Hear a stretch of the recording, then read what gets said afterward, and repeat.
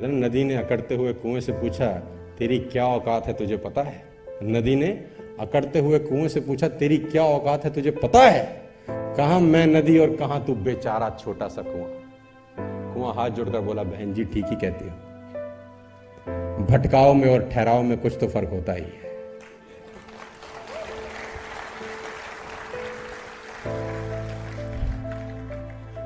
भटकाव में और ठहराव में कुछ तो फ़र्क होता ही है। फ़र्क इतना ही है तू प्यासे के पास जाती है और प्यासा मेरे पास आता है। तुम प्यासे के पास जाती हो और प्यासा मेरे पास आता है। तुम ऊपर से नीचे की ओर जाती हो, इसलिए खारी हो जाती हो। मैं नीचे से ऊपर की ओर आता हूँ, इसलिए मीठा हो जाता हूँ।